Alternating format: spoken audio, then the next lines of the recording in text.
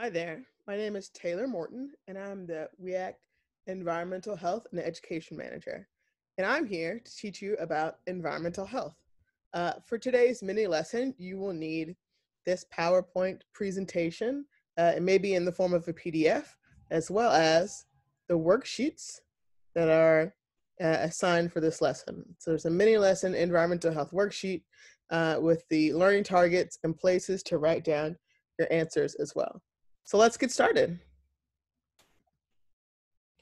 Our learning targets for today are first to understand what environmental health is, and second, to understand the relationship between environmental health and environmental justice. In our first environmental justice lesson, uh, we learned a lot about uh, what environmental justice is and how it uh, impacts communities. And in this lesson, we'll talk about uh, environmental health and its relationship to environmental justice. Let's get started. So, for a warm up question, what in your indoor environment impacts your health? Name three things. For example, when I don't clean out the filter of my air conditioner, it makes me sneeze a lot.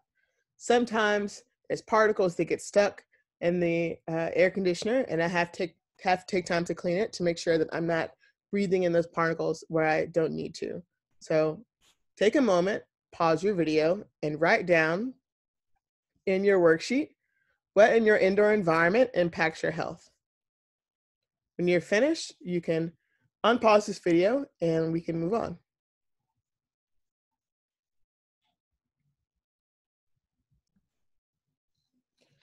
So let's talk about these two topics. What is health what is environmental health? On your worksheet, take a few moments to answer these questions.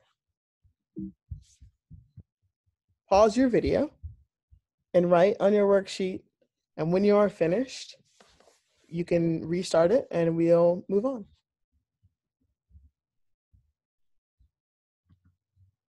All right, so thinking about what is health, what is environmental health? Let's start with the first question. Our health is our state of physical, mental, and social well being, and not only the absence of disease. So, really thinking about how our body feels, the state of our mind, uh, and the state of our uh, social relationships. What is environmental health? Environmental health covers the things in our environment and the things that surround us. These things can impact our health and our well being and our ability to live up to our fullest potential as human beings. Your environment can be indoor environment, thinking about your house or your home um, and all of the things that you interact with every day, or it can cover uh, outdoor environment, which is more uh, communal things like the park, your access to a grocery store, your access to uh, any other type of service that you need, uh, the quality of uh, the natural factors there. Do you have clean air? Do you have clean water? All those things.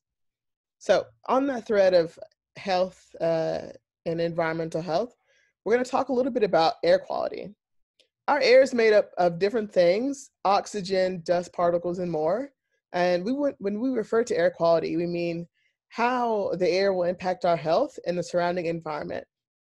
If the air has particles that are harmful to human health, we call that poor or hazardous air quality. If the air has more particles that don't harm our health, we call that good air quality. Sometimes you'll even see on the news or on um, other informative sites, uh, folks will say that we have good air quality today and it's okay to go out and play and uh, be outside. Or they will also say, um, you know, we have really poor air quality, and if you have any uh, health issues or if you're in a certain group, uh, that maybe you want to uh, lessen your time outside. Thinking about indoor environmental health. Indoor environmental health, uh, we think specifically about uh, indoor air quality, which is uh, a, a, piece of that, an aspect of that. and this refers to the air quality within and around buildings and structures especially as it relates to the health and comfort of building occupants. So, indoor air pollutants, we're thinking about things like pollen, pet dander, pest lead, pesticides, anything like that, um, that will impact uh, your health, either short term health, like a couple of days, or long term health. You may even see with something like pollen that uh, this is considered, considered to be a seasonal environmental health issue. Uh, and how does the pollen get into our house? We open a window because we want some fresh air, um, and it blows in from the outside. Uh, and so we may notice that by the window, uh, you may find uh, pollen particles, or you may notice that when the more you open the window, the more often you may sneeze. Um, and that's sort of a way that you really find out um, more about the state of your environmental, uh, indoor environmental health. So, how does environmental health relate to environmental justice?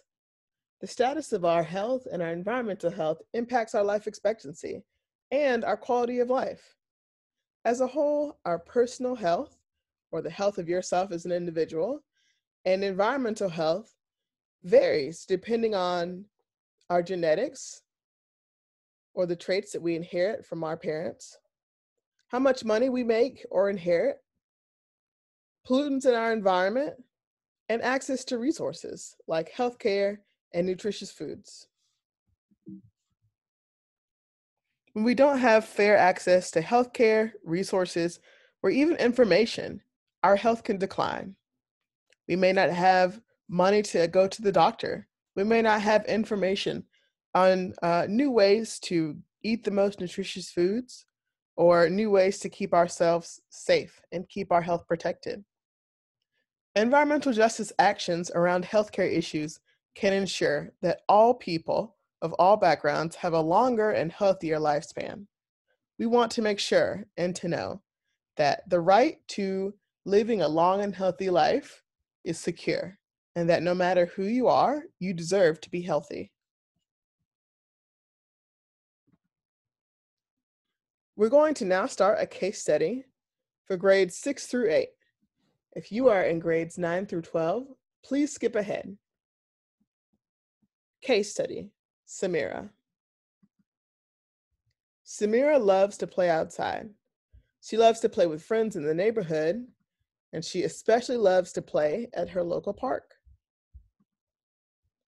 Samira's family also lives near a factory that creates smoke and pollution. The questions here How will Samira's health become impacted by her environment? What in your personal environment impacts your health? Take a moment to answer these questions in your sheet and pause your video. When you are finished, fast forward to the end.